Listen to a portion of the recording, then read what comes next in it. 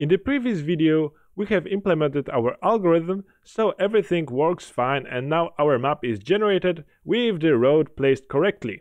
So let's maybe increase the size uh, of the decrease the field of view. Okay, great. And now we can see the road is pretty short.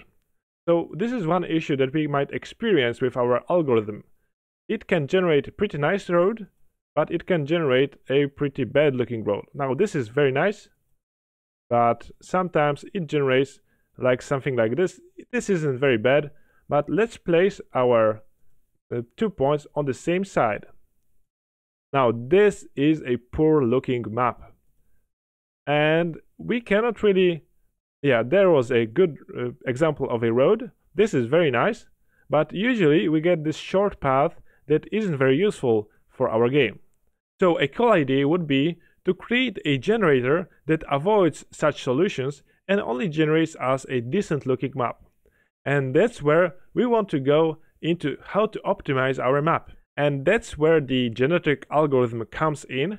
So in the next section of this tutorial that I will upload shortly, but it will be early available for my patrons, we will be creating an implementation of a genetic algorithm that will optimize our map generated from our algorithm.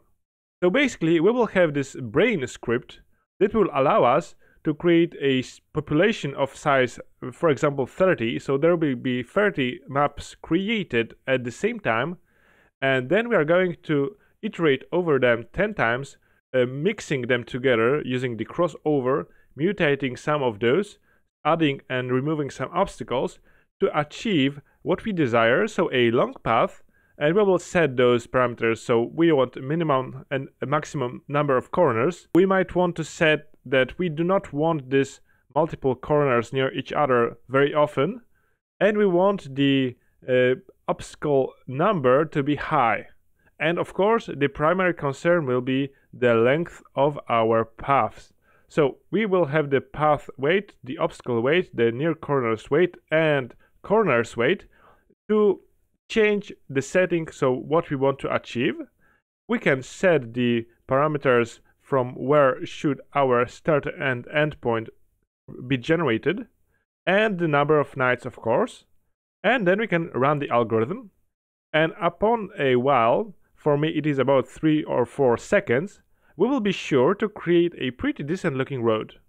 So we can add some changes to this so instead I have generated a map with low corners weight, so we do not care how many corners we have, but the length of our path is the most important parameter, and it has generated us this long, very long path. So overall goal is to have a generator that constantly produces a valuable result that we can use in some or another form, or at least some kind of control of what our generator outputs. And in this case, we are focusing on parameters to create a decent looking path for our, for example, tower defense game. So if you feel like this was a valuable tutorial and you want to have an early access to this future module about genetic algorithm, please consider supporting me through Patreon. The link is in the description. Uh, for the higher tier donations, so $5, I have prepared a Discord channel when you can easily reach me and ask me questions about those tutorials and of course it will allow me to make more of those kind of tutorials. But if you cannot support me through the donation, worry not because I will be releasing this genetic algorithm tutorial later at the end of this week or in the next week. So it will be available to everybody.